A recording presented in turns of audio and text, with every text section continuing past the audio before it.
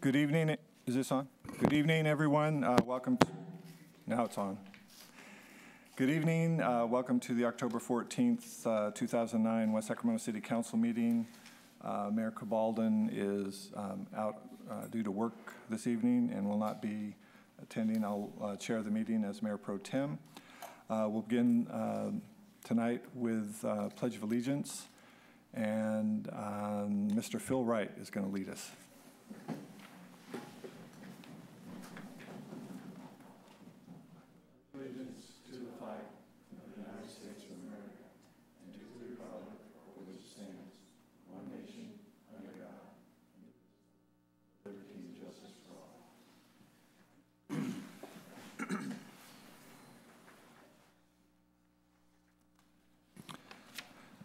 Okay, thank you. Uh, we'll move now to item 1A. This is presentations by the public uh, on matters not on the agenda within the jurisdiction of the council. Council is prohibited from discussing issues not on the agenda brought to them at this time. According to state law, items must first be noticed on the agenda before any discussion or action. I have two requests this evening. Uh, first, Mr. Ben Davis.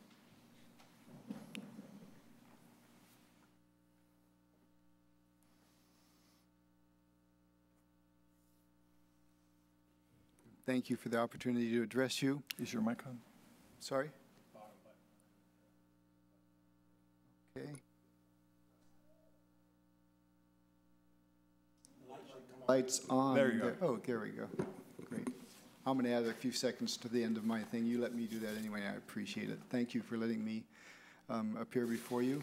Thank you for your question last time. I realize I don't want to read too much into it, but it was nice of you to at least follow up with a question after I spoke last time. It seems to have led to a very productive meeting between me and your representative, Phil Wright. Um, I felt very good about that meeting, as I told him. I'm not contemplating any, as I had said last time, the um, civil disobedience at this time, although it's always a potential for any individual in the future. I'm hoping that this new communication will lead to more productive things. I made it clear to him that I can accept no to an answer, but I do need to understand it, and I will keep hammering away until I do understand it and feel respected in the de decision. And I feel we're a long way toward that direction. He, I understand, um, sent you a memo particularly about my accusations that there was lying going on. I'm not privy to that because it's an internal memo. I have some concerns about it given the questions he asks. Um, I think I may want to follow up on it, but I don't think I can in these three minutes, so I'll save that for another time. What I would like to say is I asked him at the beginning of the meeting, this meeting is not just about um, staff, even though you're a staff representative, I have an issue here concerning whether or not I can reapply. That brought this all to everybody's attention, and he said he would bring that to the appropriate person's attention and follow up on it if I understand him correctly, he's here this evening, and I may be misquoting him, but the city, I believe, if I understand correctly where things are now, does not have an issue with me reapplying, but the funding source is being checked with. Um, perhaps that's true, I hope so, and if so, I appreciate it a great deal.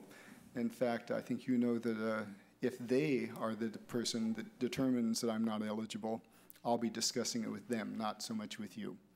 Uh, at least I won't hold it against you for their decision. But I will certainly be discussing it with them as I have with you, because I think yes is certainly the appropriate answer in this um, venue.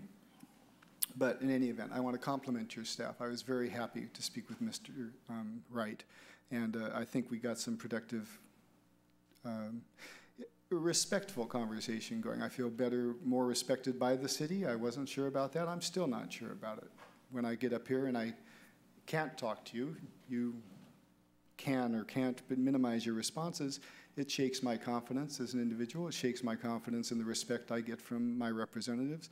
And I feel better about it at this time. So I wanted to say thank you for bringing that about. And I'll look forward to discussing this more as it progresses. Hopefully, we'll get a positive response from the count from the funder. Hopefully, I understood this correctly, and that the city is appro- is okay with it now, and that the next time I discuss things with you will be to say thank you. In either way, we'll follow up. This moment, I do appreciate the time to say these comments. Thank you, Mr. Davis. Mr. Lowell, for the record. I said it for you, Bill, so you can save your time. Thank you, Mr. Mayor Pro Tem.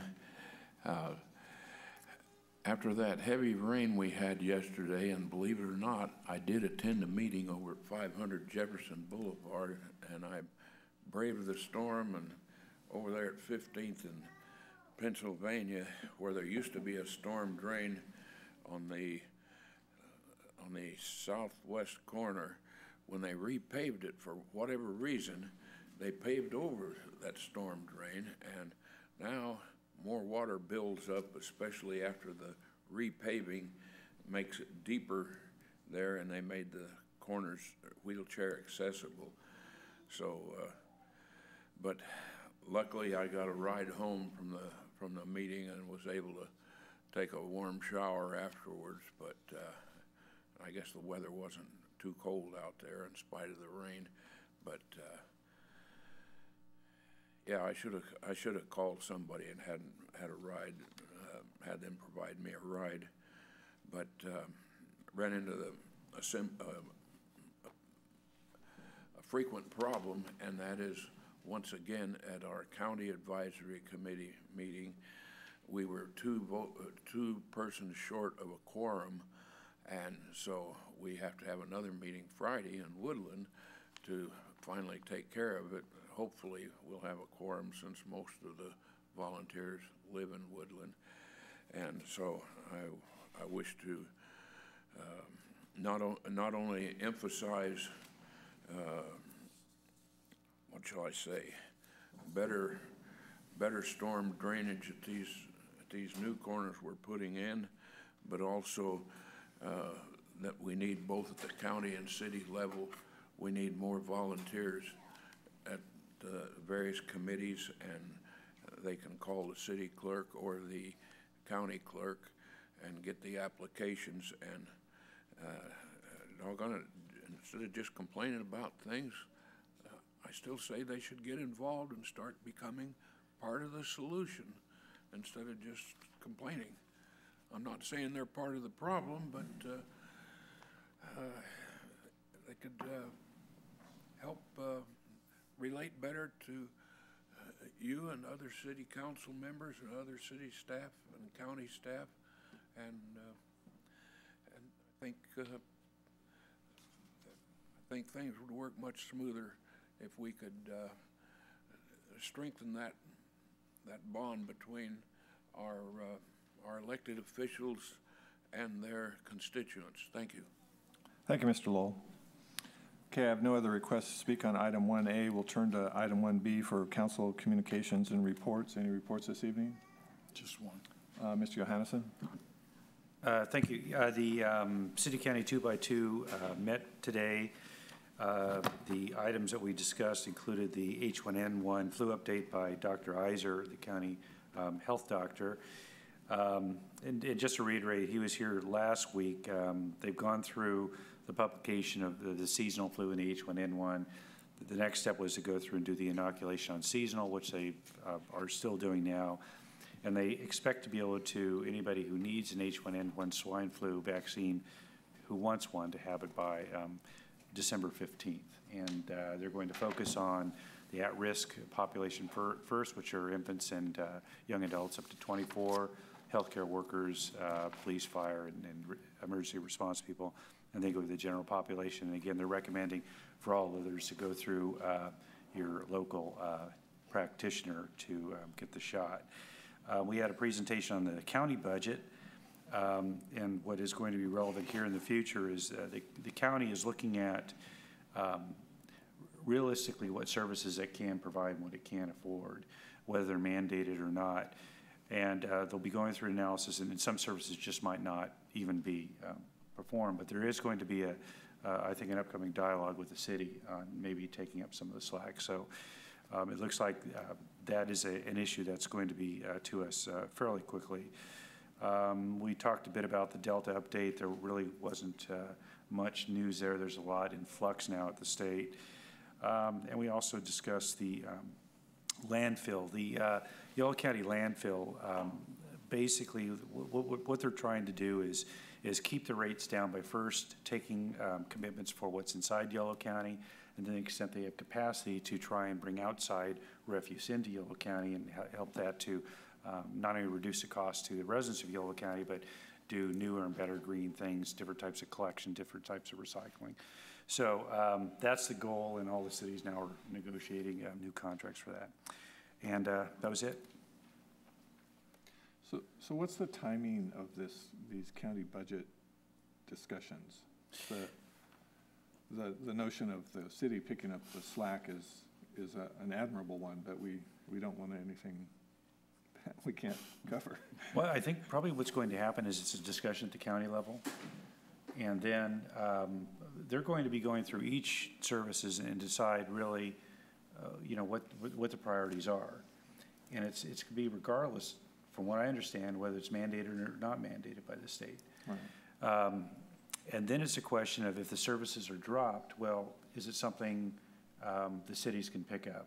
And I, I'm not sure the timing of that, but I, I would imagine, uh, city manager, uh, if you've got more of a feel of, of the timing of that discussion. I believe that their process, like ours, starts um, right around the first of the year and can- culminates um, at the end of the fiscal year. So they're, they're looking towards next year's budget. Yes, they're not, Okay. they're not talking about modifying I didn't know if they, year. were they were having problems already in this year's budget. No. Of course, the state's having problems, so that, that may not be a, a true statement in a week or two, right? Okay, thank you.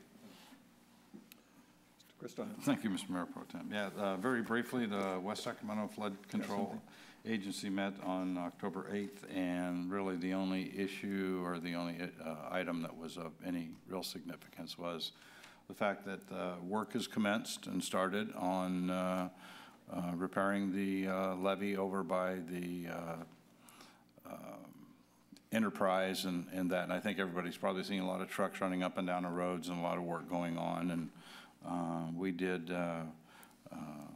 get a little late start, and so they have the, the construction company has until the end of the month to get this uh, particular area fixed and, and, and repaired. And so they're really going around the clock. They're going 24/7. And so if people see uh, trucks and things like that going on over there, they know what that is. It's a, it's a slip repair, and uh, we want to get it done before the rainy season or the windy season that was yesterday, but we want to get it done before all that.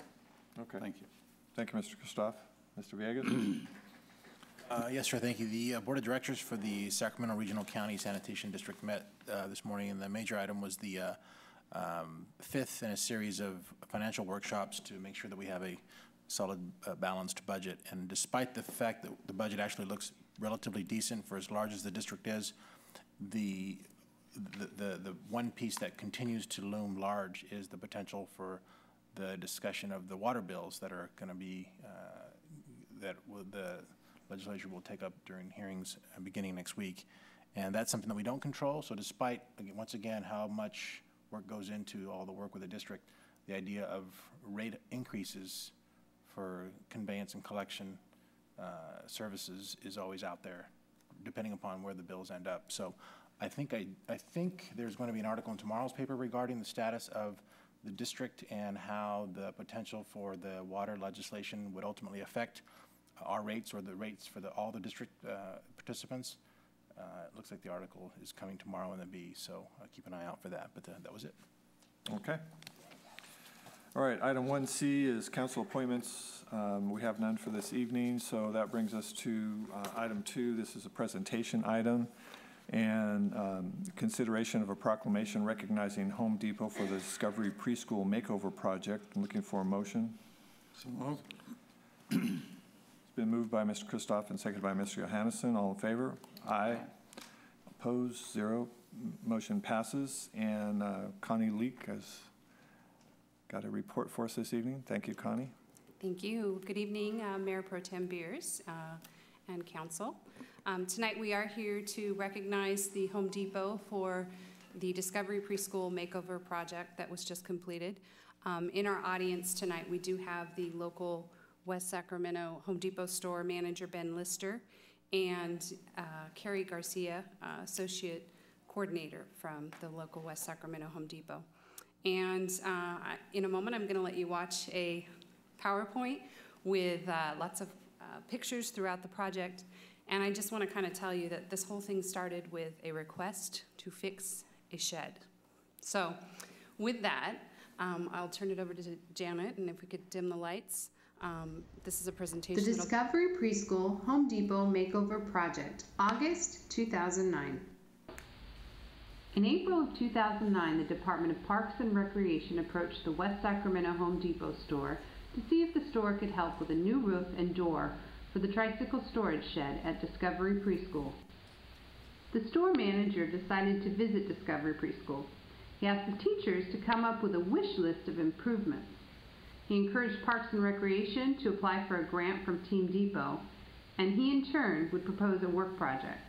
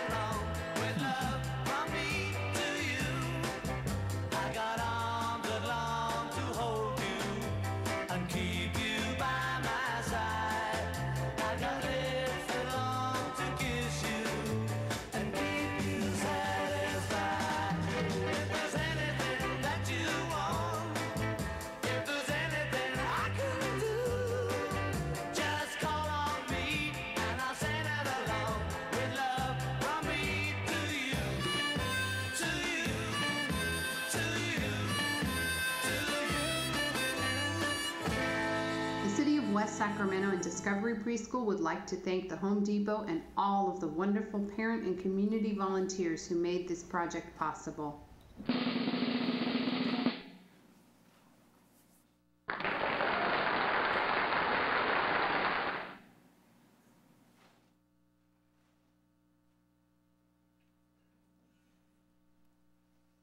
Pretty neat.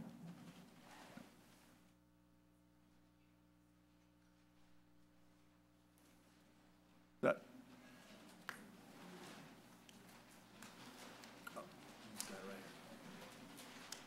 Okay. Connie, does that conclude your staff report?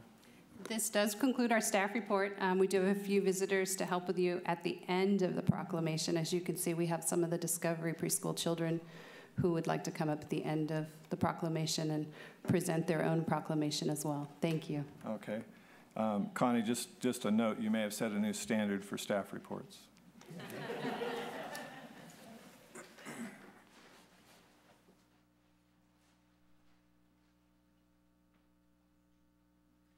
Connie, I, actually, I, I heard rumor earlier this week that the truth of the matter was you were really just trying to be able to get to play your favorite Beatles song in front of the council. So congratulations, you did a good job. You, you mastered that. Absolutely. Well. Um, So Ben Lister, I introduce you to Mayor Pro Tem uh, Wes Beers and Carrie Garcia from the Home Depot. Well, the, the uh, pictures speak uh, definitely a thousand words, and that was an impressive, impressive accomplishment. And the shed really looked good at the end, so that you kept your focus on that.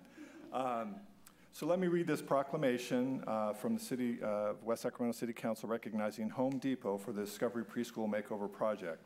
Whereas in April 2009, the Department of Parks and Recreation approached the Home Depot to repair the Discovery Preschool tricycle shed, resulting in local store manager visiting Discovery and asking teachers to create a larger wish list for the preschool. And whereas the West Sacramento uh, store encouraged Parks and Recreation to apply for a grant for the Discovery Preschool wish list, while they in turn proposed a work project to Home Depot corporate. And whereas through the value of giving back, Home Depot donated over $4,500 in materials at Home Depot bid room rates to the project. And whereas the Home Depot provided free of charge a wide range of equipment such as paint sprayers, power washers, augers, and power tools to the project. And whereas the Home Depot staff attended a series of meetings with Parks and Rec staff and Discovery preschool teachers to plan and coordinate the extensive project. And whereas the Home Depot collaborated to get the Behr Paint to donate all interior, exterior paint for the makeover, and Cardinal Trucking Company to donate free delivery of all of the project's materials. Whereas Home Depot provided a kids' workshop where children received project aprons, painted terracotta pots, and planted flowers in celebration of the project. And whereas Home Depot provided parent and community volunteers with building community project shirts and Behr paint painters caps. And whereas the final uh, Discovery Preschool project resulted in new exterior and interior paint, new uh, bathroom fixtures, new kitchen cabinetry, new pan- pantry shelving and storage racks, hand-painted barnyard theme mural work, custom art center and cubbies, shed renovation, new sandbox, shade structure renovation, new white picket fence, and colorful painted cement tricycle path. And whereas Home Depot associates from over 12 area stores generously volunteered over 300 hours working with Discovery Preschool families and members of the community to complete the exciting Discovery uh, Preschool makeover. Now therefore be it proclaimed that the West Sacramento City Council recognizes Home Depot for their generous donation to the West Sacramento community through the Discovery Preschool Makeover Project. Thank you so much.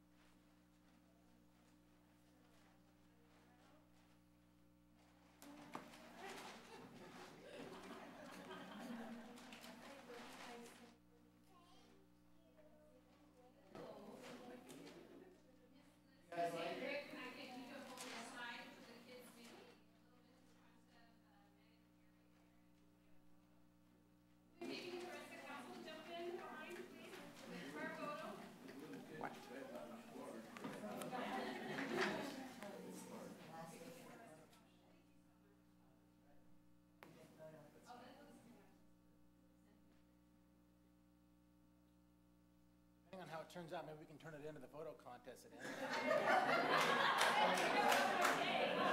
Might have some influence over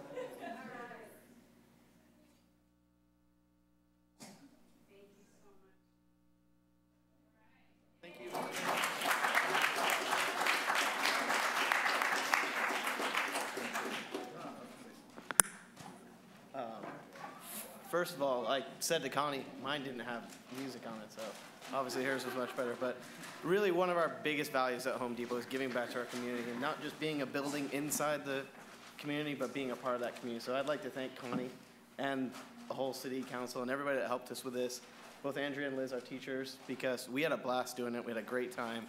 And it's really nice to see some of our effort and our money that from our corporation go into something so great as helping kids have a great place to learn. So thank you very much.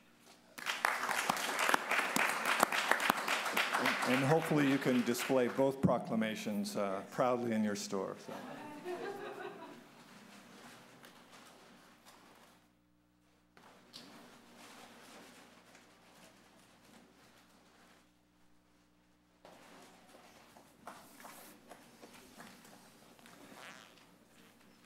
If I might, just like to make a quick comment.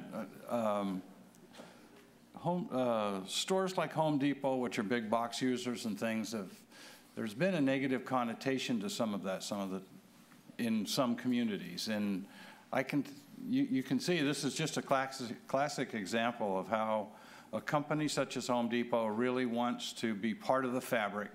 They want to, they really bring back and they give back to the community because we go in and we spend our dollars there. And just hopefully it's, it's that kind of uh, give and the take. Uh, It's a real class act by Home Depot and especially the parents that also put in the, um, the volunteer time and everything because it does take time to do all of that. Uh, There's a great service there for our young kids, but at the same time, uh, with the parents' help and with corporations' help and, and uh, our staff's help, uh, it, it really makes for a really fun time and a good time. And it, makes for, for something that the community can be very, very proud of. And thank you, Home Depot, for all you did.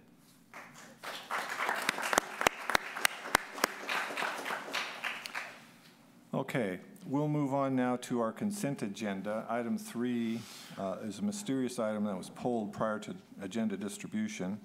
Um, So items four and five um, are still on the consent agenda. I do have requests to speak on items four, but do any members of the council have any questions on the agenda? No, I do not. Okay, then uh, we'll go ahead and ask Mr. Lowell to come up. You have a question on item four.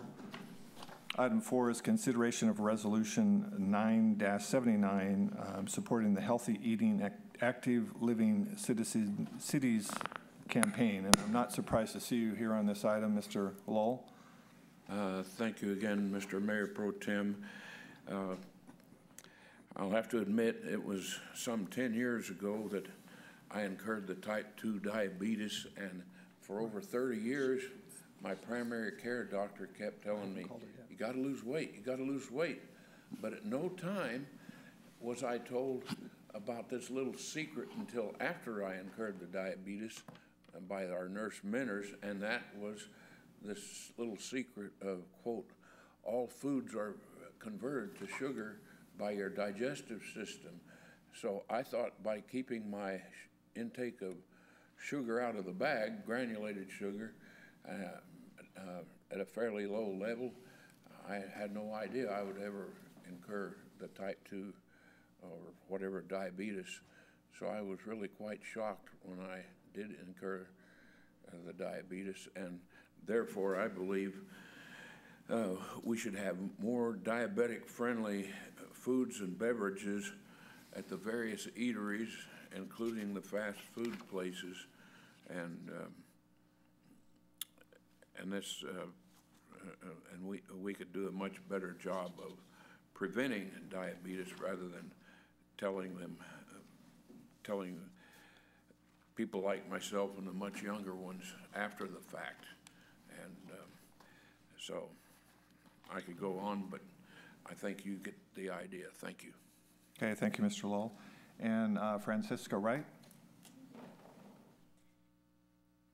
Uh, Thanks for having me, um, Mayor Pro Tem Beers and Council. My name is Francesca Wright, and I'm with the Healthy Eating Active Living Cities Campaign, a project of the California League of Cities, Cities, Counties, and Schools Partnership, and the California Center for Public Health Advocacy. And I'm also a, a Yolo County resident, and should the, I'm not asking that this be pulled from the agenda. I want to support it because I know when sometimes when people speak to consent, that's their concern.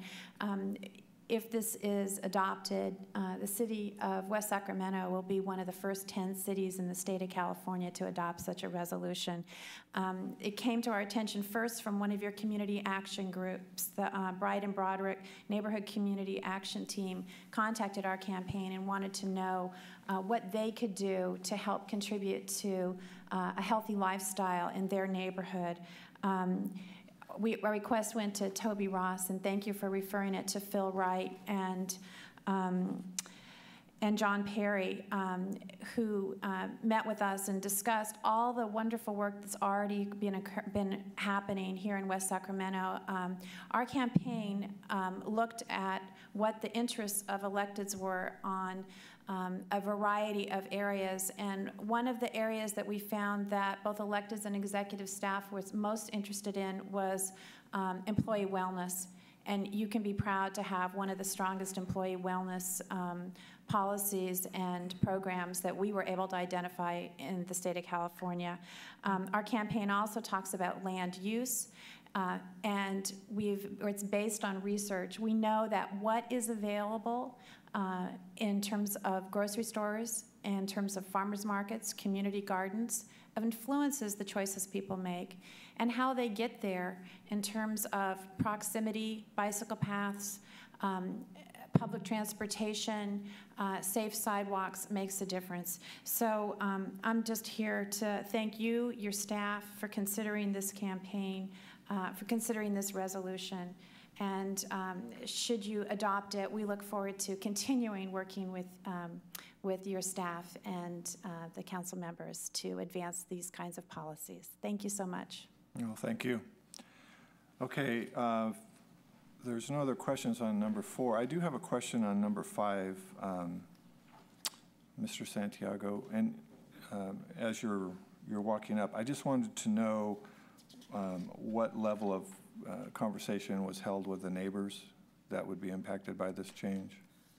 Uh, As far as uh, notification and that type of thing?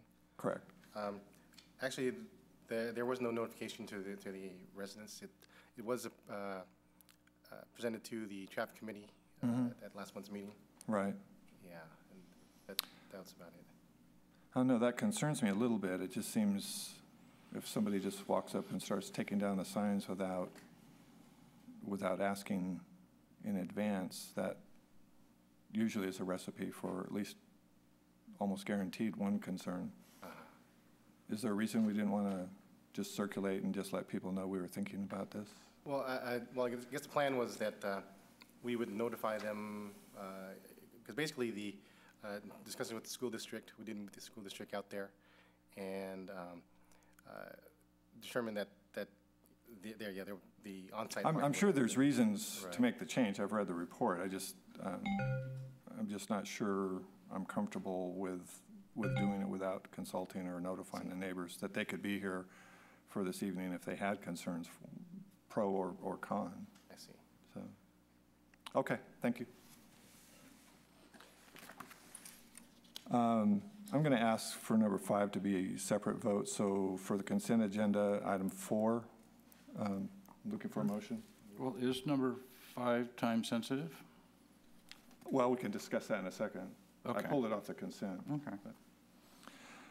So I've got a motion? I'll- I'll second. Okay, it's been moved and seconded. All in favor of the consent, please say aye. Aye. Opposed, zero. Okay, now let's take up item five um, separately. Mr. uh, Mr. Bruce, if I could just make a comment about the, the resolution for the, the uh, healthy eating. uh, Oh, sure. living. Just, just real quickly, I just want to take a moment uh, and, and acknowledge the, the, the work that the city staff has put together uh, to create the, um, the city's wellness program. It really is a, a wonderful program, and without going into any further detail, on any given day, if you come to the city hall during the lunch hour, there is a lot of activity that's occurring in part through the wellness program that the city has adopted. And there are folks taking the stairs, running around, jogging. I mean, there's a lot of activity that goes towards supporting, you know, kind of just walking the walk or talking, the, beyond, beyond just talking the talk. I mean, there really is a lot of activity happening here that uh, supports what I think we're trying to promote. So this is a, this is a perfect resolution consistent with what actually is happening. So, thank you. Good. Yeah, no, it's an excellent program. Okay, um, anyway, I'd like to back, o- open up any discussion from the council on item five. Um, Mr. Kristoff? Yeah, I mean, if, if there are some concerns, um, if it's not time sensitive, this, to me, this agenda item can come back. I mean, it just takes a couple days for the people to walk the neighborhood and say, hey, look, we're gonna tear down these, they didn't like them to start with. Well, and- and that could Now they'll be well happy be. to, they'll be happy to have them down, but I mean, at Yeah. the same time, um, it's, let's not surprise them. Let's Well, just that, that's go my ahead and- concern. Yeah. Mis- Mr. Johannessen? No, I concur.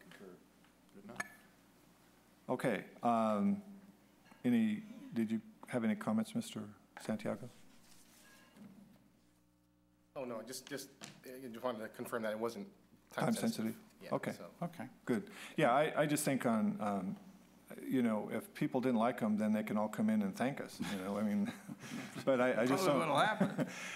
Not that that, that would probably be the case, but um, anyway, okay. I'd like to uh, see if we can just um, uh, pull this item and, and bring it back at a later time. You could make a motion to continue the item. Yeah, so, That'd be great. I'll make that motion to continue the item. okay, it's been moved by Mr. Kristoff and seconded by Mr. Johannessen to continue this item. Uh, All in favor, says aye. Opposed? Thank you.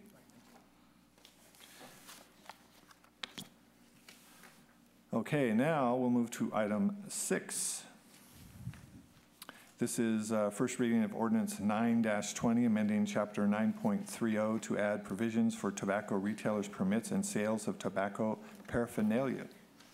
Chief Drummond. Thank you, members of the council. Um, We uh, don't have a PowerPoint uh, for you tonight, but I have considered uh, a song Can you hum? for you. Can you hum? But uh, Donna forgot her music and so is not prepared to sing, so we'll bypass the, the song tonight. Um, We're happy to be back um, in front of you for the first reading uh, after our presentation and discussion. We have made uh, some uh, amendments and adjustments uh, to the ordinance based on uh, some of your input. Uh, Most notably, um, we have um, added the uh, caveat that um, persons who appear to be under the age of 30 years old will be, as the term goes, be carded, uh, as was recommended by uh, council uh, at the last meeting.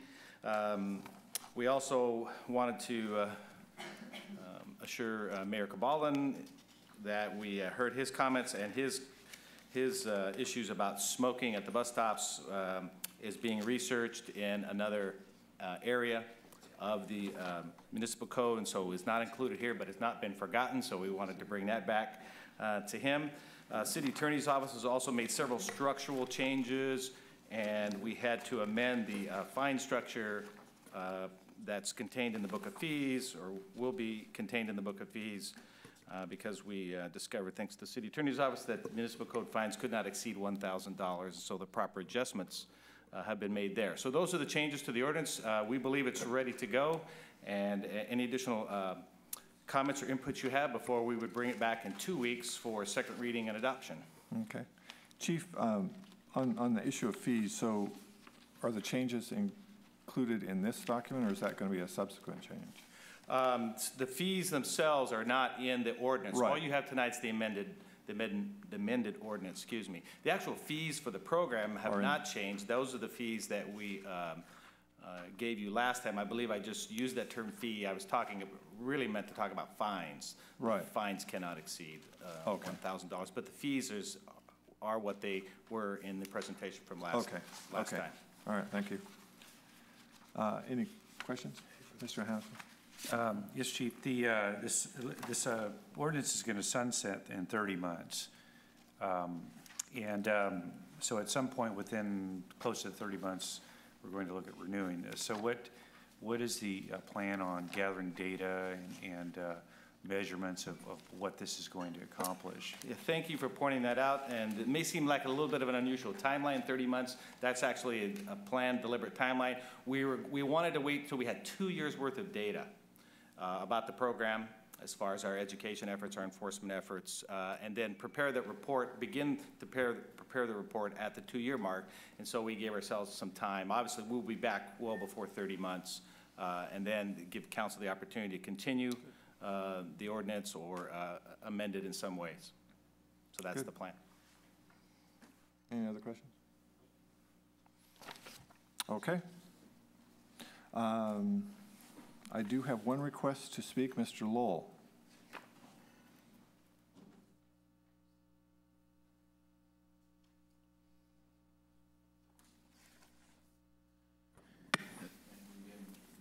Jim, uh, I'd already had a little note here to emphasize the danger of secondhand smoke uh, there, but I also heard Chief Drummond say that uh, his young lady assistant had an anti-smoking song.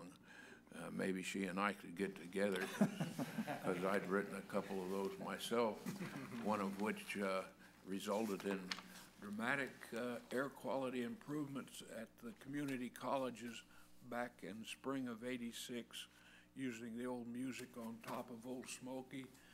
And the second one, later on, using the Peter, Paul, and Mary, and the chorus goes, "The answer, my friend, is blowing in the wind. If you smoke, please smoke downwind from me."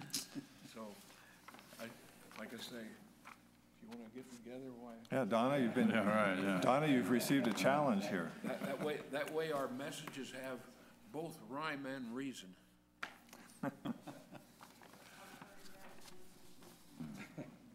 Okay, uh, that was the only request I had to speak on this item, so I'll turn it back to the council for discussion or motion. I'd just like to make a comment before I make a motion, and I'd just like to thank the young people here for really bringing it forward and Chief, you and your staff have done a real good job of bringing it, bringing it forward. And it took a little longer than I thought, but at the same time, I mean, I think that, you know, when you bring in ordinances and different things like that uh, through the system, it just takes some time. And uh, um, it's something wholeheartedly support. Thank all of you. Mr. Housen, did you? Okay. Mr. Ve- Yeah, just, just a quick comment. Um, Given, given the experience that you guys have gone through in terms of the last couple of years and how hard you've worked to bring this to, to this point finally, um, I, I would ask maybe, i- if at all possible, that maybe you present the, the, the work that you've done in summary to the Youth Commission at their meeting on October 26th. It's coming up, and if you could coordinate that uh, with our city staff, I think it would be worthwhile for them to see uh, the value that, that persistency has, and you guys are a perfect example. You don't have to share with them that it took two years to get this done, but you could share with them the essence of what you learned and what, what value it's going to have in our community, which I think is well worth the work. So thank you very much. Yeah, my instinctive uh, assumption is that if there's no uh, testimony from, from the people that instituted this, then they must uh, really support what we're doing. So hopefully that is the case. So still looking for a motion then? Okay, Mr. Mayor, I'd move that the council uh, conduct first reading of ordinance nine, uh, zero nine dash two zero regarding tobacco retailer permits and sale of tobacco paraphernalia and amendments to the municipal code chapter nine point three zero. Okay, it's been moved by uh, Mr. Kristoff and seconded by Mr. Johannessen. All in favor, say aye. Aye. Aye. Opposed? Uh, Passed unanimously. Um, Thanks, everyone. By the way, Mr. Santiago, before you leave, you, you could consider a, um, a new presentation with uh, uh, music and, and when you bring item five back. you know, Liven that one up. That would have gotten it through, I think. It might have, I don't know, it was on the fan. I don't know. Taking down parking things is pretty tough to find a Okay, um, we'll move to item seven, uh, council calendar. Uh, Yes, Mr. Mayor Pro Tem, just wanted to remind the council that the meeting of October 21st is canceled, and your next meeting will be November 4th. Okay. Uh, City manager report. Just wanted to report briefly on the, um, the storm event yesterday. We, we had basically three inches of water come down. That's, that's a very rapid rate for us, and it's difficult uh, for our community to handle that volume. Um, I think our res- uh, first responders were well prepared. We didn't have any major um, events, and for the most part, there weren't power outages, which have plagued some of the other areas. So that's very fortunate. We did have a number of trees or branches that fell down, and, and uh, I think at one point, the count was something like 17 um, responses required by PG&E to, to deal with uh, How trees many, on. how many, 70? 17. Oh, 17. Oh, okay. So, uh, but for the most part, they was fell on or near the tree, on uh, lines without actually knocking out the power. So Yeah. we're fortunate in that respect. We had um, a couple of areas associated with construction here and at Harbor, uh, which didn't, which handicapped um, the, the normal storm runoff issues. Um, But in large measure, the, the capacity limitation was a, a Caltrans ditch that filled to the brim, and at that point, there's no place for it to drop off to, so, and that's, that's the one that goes along Highway 50. Um, So we had a conversation today with RT, RD 900 about uh, a program to get that, uh, that Oh. ditch cleaned out. Good idea, good. So uh, on, on balance, I think we performed well, uh, even though it was an inconvenience to a number of people. Good. I had an inside um, report that part of that was due to extra donut power provided by Mr. Panos to the staff, so good job. Yeah, don't, don't say that, or Phil will get mad at him. It's not really What? healthy eating. I, I did think there was a mixed message there, but, okay, um, city attorney report? Uh, Staff direction from council members? Anything? Okay, uh, Just, a- just a comment if I, yeah, comments from council members? Yeah, sorry. Uh, I just wanted to share on, uh, on, Mark, was it Tuesday night? The, uh, yeah, the, the, um, YOLO Leadership Dinner, I think, for the California Forward. That was put together by the mayor and uh, Council- uh, Supervisor McGowan. It was held at the CalSTRS building. It was actually a very good meeting. It was an interesting meeting. California Forward, I think, um, most folks may know, is, is the organization that is proposing to make significant changes, constitutional changes to uh, California to help with so many different elements of our governance and, and the lack thereof, if you will, because it's become unmanageable. And so if you haven't had a chance to look at the website, I think it's californiaforward.com or something like that. Um, it's, it's, uh, it's moving forward, it's moving quickly. Uh, there's a lot of good information that's available on the website, I think, relative to what they're doing. But um, it was, it was a good dinner and it was, a, it was a good uh, presentation by, by uh, folks who are, and former Speaker Hertzberg was there presenting information that uh, uh, they're, they're looking for, looking for support for what they're doing, so. Okay, good. All right, um, looking for a motion to adjourn. So moved. Okay, all in favor? Aye. Aye. Meeting adjourned.